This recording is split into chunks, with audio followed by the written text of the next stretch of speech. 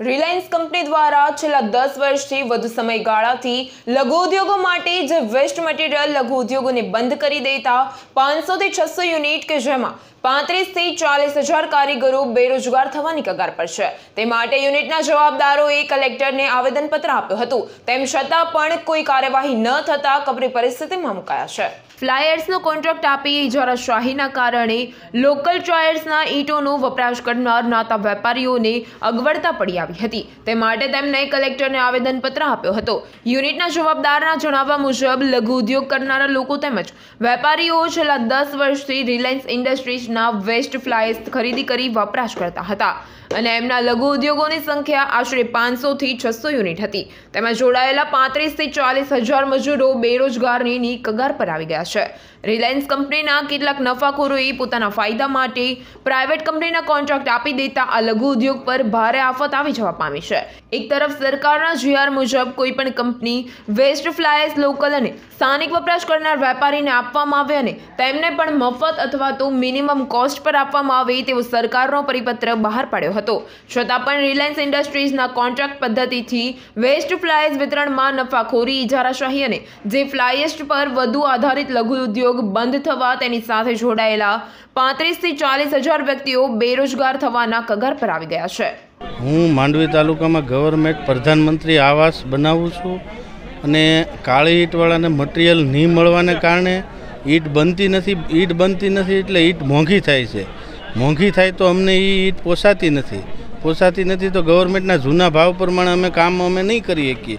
અથવા તો અમને માલ ટાઈમે નહીં મળે તો એ કામ અમે પૂરા નહીં કરી શકીએ.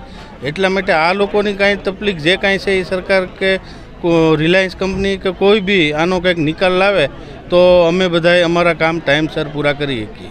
આ ઈંટ બંધ થાય? ગજુ અચ્છા કઈ જગ્યાએ તમે કામ ધંધો કરો છો? અહીં સુરતમાં. શું કામ કરો છો તમે? ઈંટોનું. અચ્છા શું તકલીફ છે અત્યારે હાલ અત્યારે પંદર દિવસે માલ નથી આવતો. એની તકલીફ છે. હવે ઘરે જવાનું કહે છે તો શું ખાવાનું ઘરે જઈને બી? કેટલા લોકો છે તમારા જેવા આવા? અમારી જેવા આવા બે ત્રણ હજાર માણસ કામ કરે. બટામાં. અત્યારે પહેલાં ફ્લાયર્સ બધાને આપતા હતા. બરાબર? અત્યારે એસ્ટેક કંપની કરીને હતી. એને એકને આપી દીધી. કંપની એમ કે તમે આની પાસેથી માલ લ્યો. એસ્ટેક કંપની અત્યારે જે એકસો ને પચીસ રૂપિયા ચૂકવે છે કંપની અત્યારે અમને પાંચસો રૂપિયા એક પર ટને આપે છે. શું માંગણી છે તમારી અત્યારે હાલ? બસ અમને બધાને પહેલાં માલ આપતા હતા બધાને આપે તો અમને કોઈ વાંધો નથી. બાકી નકર આવા યુનિટ ઠેર ઠેર અત્યારે પાંચસો યુનિટ બંધ છે. બધા મજૂર બેઠા છે. કેટલા મજૂરો બેરોજગાર થયા છે ત્રીસથી પાંત્રીસ હજાર અત્યારે મજૂર બેઠા છે. પછી સોથી હવાસો ગાડીઓ અત્યારે બધી બંધ છે. એમ જોવા જાય તો અત્યારે ગાડીઓના હપ્તા ચાલુ છે. બરાબર? ડ્રાઈવર છે. પગાર ચાલુ એનો ટેક્સ ચાલુ વીમો ચાલુ. તો આવું કેટલા દિવસ હાલશે એમ બંધ રાખી? કંપનીને પણ આમાં ઘણો અમે ફાયદો કરાવેલો છે કે અમે ડાયરેક્ટ માલ ઉપાડી અમે એની બ્રિક્સ બનાવી અને એ આપણો બ્રિક્સ જે ફ્લાયસની બનાવી છે આપણી ગવર્મેન્ટ એપ્રુવલ ઈંટ છે ફ્લાયસની ઈંટ અને આપણે નરેન્દ્ર મોદી સાહેબે સુરતમાં કે ગુજરાતમાં ત્યારે અહીંયા કીધેલું કે તમે આની ઈંટ બનાવો તો આપણે જે જમીન ફળદ્રુપ જમીન છે એ બગડે નહીં એટલા માટે થઈને તમે આને વેસ્ટમાંથી તમે બેસ્ટ કરો તો અમે આજે એ સાર્થક કરી બતાવ્યું. તો આજે લેભાગુ લોકો આજે આ ધંધામાં આવી અને અમને આમાં હેરાન કરી રહ્યા છે. અમારું મટીરિયલ ટોટલ એ લોકો જ બધા લઈ જાય છે અને બહારની કંપની છે અને બહાર બધી માલની સપ્લાય લઈ જાય છે. તો અમે સુરતમાં ઓછામાં ઓછા ત્રીસથી પાંત્રીસ હજાર માણસ એમાં બેરોજગાર થઈ રહ્યા છે.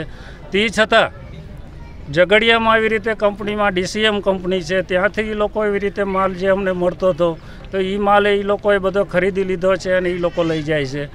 દહેજમાંથી પણ જે અમને માલ મળતો હતો, તો દહેજથી માલ જે આવતો હતો એ માલ એ bureau report, GTV news Surat.